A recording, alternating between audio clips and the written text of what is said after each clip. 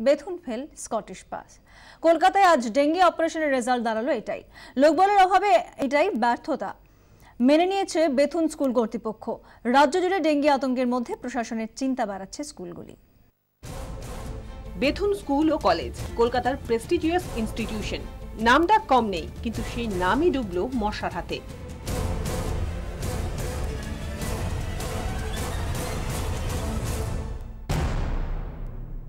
অতি আশ্চর্যজনকভাবে Bethune college অর্থাৎ সরকারি স্কুল এবং কলেজেই মিলল ডেঙ্গির লার্ভা। সল্টলেকে ভারতীয় বিদ্যাভবন স্কুলের দুই পড়ুয়ার ডেঙ্গিতে মৃত্যুর পর স্কুলগুলিতে পরিচ্ছন্নতা নিয়ে বাড়তি সতর্ক প্রশাসন। কলকাতা পুরসভার উদ্যোগে তেমনই এক অভিযানে বৃহস্পতিবার বেথুন স্কুল ও কলেজে হাজির হয় পুরসভার বিশেষ দল, ছিলেন মেয়র পারিষদ অতীন ঘোষও কিন্তু প্রথম পরীক্ষাতেই ফেল এই ঐতিহ্যবাহী সরকারি স্কুল। পাওয়া গেছে ক্যান্টিনের পাশে ড্রেনটা নিয়মিত পরিষ্কার করতে হবে, ওখানে পাওয়া গেছে। অ্যানেক্স বিল্ডিংয়ের পেছনে জঞ্জাল জমা আছে, সেখানে অ্যাকোমোডেশন ওয়াটার হতে পারে। স্কুলের পেছনে স্টাফ কোয়ার্টারের ছাদে জমা জলে ইডিস পাওয়া গেছে। অ্যাডমিনিস্ট্রেটিভ বিল্ডিংয়ের পেছনে ছোট ছোট পাত্রে জমা জলে ইডিস পাওয়া লার্ভা পাওয়া গেছে।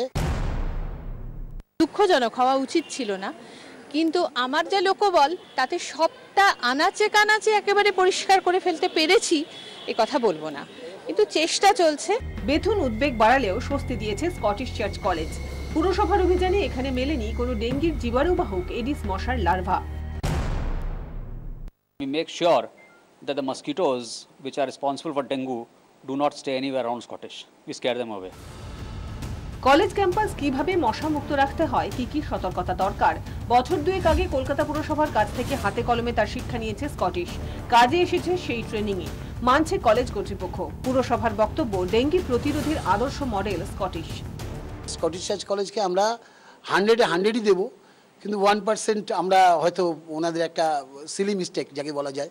সেই মিস্টেকের জন্য একটা কন্টেনারে শুধু ঢাকনা খোলা ছিল। এছাড়া Scottish college neat and clean এবং এখানে আমরা একটা লার্ভা ব্রিডিং খুঁজে পাইনি।